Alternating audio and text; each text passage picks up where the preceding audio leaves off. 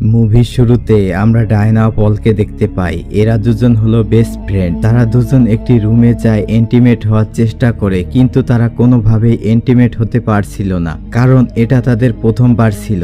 আসলে বন্ধুরা, ডায়নার বয়স চোদ্দ বছর, সে তার ছোট ভাই আর তার বাবা ক্রিস্টিনের সাথে থাকে। ডায়না ছোট হওয়ার কারণে সে এসব ব্যাপারে এখনও কিছুই জানে না, কিন্তু তার এসব ব্যাপারে জানার খুব ইচ্ছে। এই কারণে সে তার বেস্ট ফ্রেন্ড পলের সাথে এন্টিমেট হওয়ার ট্রাই করেছিল। রাতে যখন ডায়না টিভিতে পন দেখছিল, তখন সেখানে তার বাবা চলে আসে। ডায়নার বাবা ক্রিস্টিন ডায়নাকে টিভি বন্ধ করে ঘুমিয়ে পড়তে বলে, কিন্তু ডায়না তার বাবার কোনো কথাই শুনে না। এরপর সে গোসল করতে বাথটবে যায়, সেখানে মাস্টার বেড করে নিজেকে শান্ত করে। পরের দিন ডায়না তার স্কুলে যায়। তার বন্ধুরা তাকে বলে, ভার্জিনিটি লুজ করা অনেক কষ্টের কাজ। এটা শুনে ডায়না চিন্তায় পড়ে যায়, কারণ এখন পর্যন্ত সে ভার্জিন।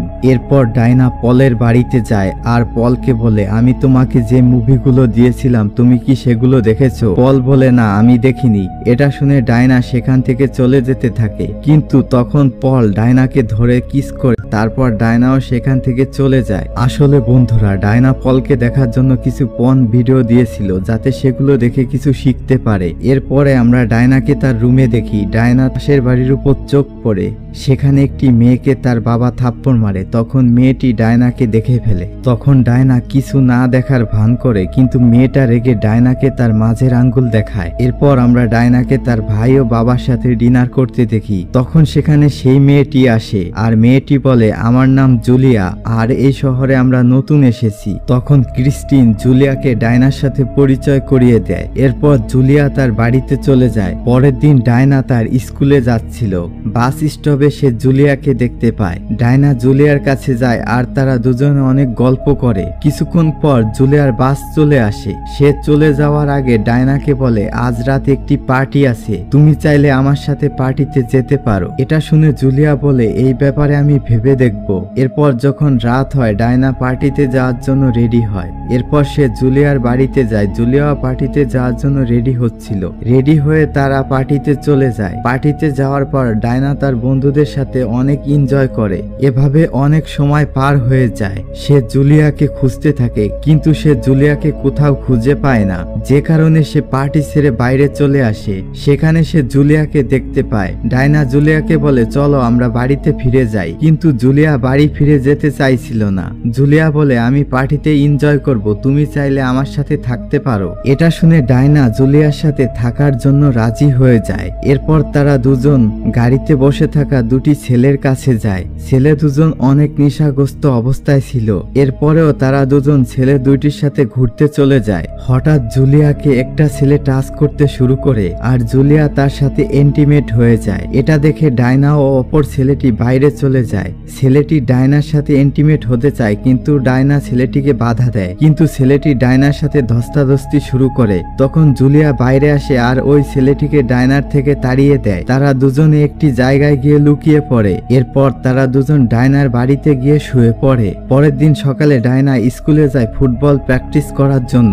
স্কুলে সে তার বন্ধু পলকে জুলিয়ার সাথে গল্প করতে দেখে। এতে সে অনেক কষ্ট পায়। এরপর সে বাথরুমে গোসল করার জন্য যায়, কিন্তু কিছুক্ষণ পর পানি আসা বন্ধ হয়ে যায়। এতে ডায়না রেগে ছেলেদের বাথরুমে চলে যায় গোসল করার জন্য। ছেলেরা ডায়নাকে দেখে তার সাথে খারাপ কিছু করার পরিকল্পনা করে, কিন্তু তখন তার স্কুলের টিচার চলে আসে। সে ডায়নাকে সেখান থেকে নিয়ে যায়, এরপর ডায়নার বাবা তাকে নিতে আসে। তখন ডায়না তার বাবার সাথে গাড়িতে করে যাচ্ছিল, তখন সে তার বাবাকে বলে যে, বাবা, তুমি আমাকে ভালোবাসো? ডায়নার বাবা বলে হ্যাঁ অবশ্যই ভালোবাসি। তখন ডায়না বলে, আমার সাথে তুমি ডেটে যাবে, কিন্তু ডায়নার বাবা ডায়নাকে বুঝায় যে আমি তোমার বাবা, আমি তোমার সাথে ডেটে যেতে পারব না। এটা শুনে ডায়না রেগে গাড়ি থেকে নেমে যায় আর সে সেখান থেকে চলে যায়। এরপরের সিনে আমরা ডায়নাকে জুলিয়ার ঘরে দেখি। জুলিয়া ডায়নাকে বলে যে, তোমার বাবা অনেক ভালো। তুমি যা করতে চাও তাই করতে দেয়, কিন্তু আমার বাবা সব সময় আমাকে শাসন করে। এই সাথে জুলিয়া ডায়নাকে বলে যে, তোমার বাবা মনে হয় আমাকে পছন্দ করে। জুলিয়ার মুখে এই কথা শুনে ডায়না অনেক হাসতে থাকে। এরপর রাতে জুলিয়ার পরিবারের সাথে ডায়না ডিনার করতে একটি হোটেলে যায়। হঠাৎ জুলিয়ার বাবার পিসারে চাপ দেয়। যে কারণে জুলিয়ার মা তাদেরকে হোটেলে রেখে বাড়িতে চলে যায়। এতে ডাইনা আর জুলিয়া অনেক খুশি হয় আর তারা দুজনে খুশিতে ড্রিঙ্কস করে। আর জুলিয়া ওয়েটারকে তার কথার জালে ফাঁসিয়ে রুমে নিয়ে যায়। কিছুক্ষণ পরে ডায়না রুমে আসে। তারা দুজন মিলে ছেলেটার সাথে এন্টিমেট হয়। তাদের কাজ শেষ হয়ে গেলে তারা ছেলেটিকে সেখান থেকে তাড়িয়ে দেয়। পরের দিন আমরা ডায়না ও জুলিয়াকে একসাথে মজা করতে দেখি। রাতে তারা দুজন একটি ক্লাবে যায় আর ডায়না একটি ছেলের সাথে ড্যান্স করে। কিছুক্ষণ পর ছেলেটি ড্রিঙ্কস আনার জন্য চলে যায়। ছেলেটির পিছে পিছে ডায়নাও চলে যায়। ডায়না ছেলেটিকে বলে যে, তুমি কি আমাকে কিস করতে চাও? ছেলেটি বলে, না, আমার গার্লফ্রেন্ড আছে। আমি পার্টিতে তাকে আসার জন্য অপেক্ষা করছি। তখন ডায়না বলে, সে তো এসব এখন দেখছে না। যাই হোক, পরের সিনে আমরা তাদের দুজনকে কিস করতে দেখি। ছেলেটি ডায়নার সাথে এন্টিমেট হতে চায়। যে কারণে ডায়না সেখান থেকে চলে আসে। কিছুদিন এভাবে কেটে যায়। জুলিয়ার বাবা প্ল্যান করে যে তারা ট্রিপে যাবে। এরপর একদিন জুলিয়ার বাবা ডায়না ও তার ভাইকে ট্রিপে নিয়ে যায়। সেখানে যাওয়ার পর জুলিয়া ও ডায়নার একটি ছেলের সাথে পরিচয় হয়। আর তারা দুজন ছেলেটির বোটে ঘুরতে চলে যায়। ছেলেটি জুলিয়া ও ডায়নাকে তার বাড়িতে ইনভাইট করে। এরপর ডায়না আর জুলিয়া ছেলেটির বাড়িতে গিয়ে ছেলেটির সাথে এন্টিমেট হয়। এরপর তারা তিনজন একসাথে গোসল করে। রাতে জুলিয়া ও ডায়না পার্টিতে যায়। পার্টিতে যাওয়ার পর জুলিয়া ডায়নার বাবার সাথে ড্যান্স করে। এটা দেখে ডায়না রেগে যায় আর তার বাবাকে নিয়ে পার্টি থেকে চলে আসে। কিন্তু বাড়িতে যাওয়ার পর জুলিয়া ডায়নার বাবার সাথে এন্টিমেট হওয়ার চেষ্টা করে। কিন্তু সে জুলিয়াকে আটকে সেখান থেকে চলে যায়।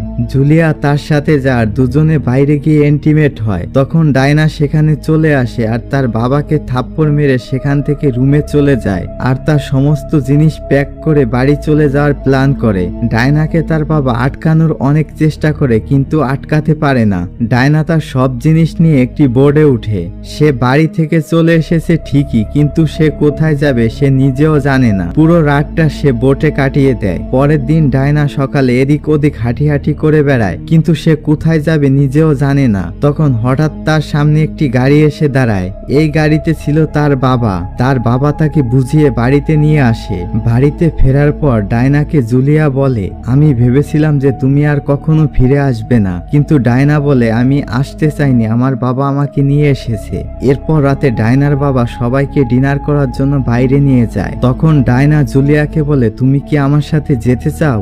জুলিয়া বলে, কোথায়? তখন ডায়না সেখান থেকে বেরিয়ে রাস্তার দিকে যেতে থাকে। রাস্তা দিয়ে ওই সময় অনেক গাড়ি যাচ্ছিল। তার বাবা আর জুলিয়া তাকে আটকানোর অনেক চেষ্টা করে, কিন্তু সে চলে যায়। রাস্তার মাঝে গিয়ে দাঁড়ায় আর সে একটি মুস্কি হাসি দেয়। এই রহস্যজনক হাসির সাথে এই মুভিটি এখানেই শেষ হয়ে যায়। তো বন্ধুরা, আজকের ভিডিও এই পর্যন্তই। আবার দেখাবে নতুন কোনো ভিডিও নিয়ে। চ্যানেলটি সাবস্ক্রাইব করে আমাদের সাথেই থাকুন।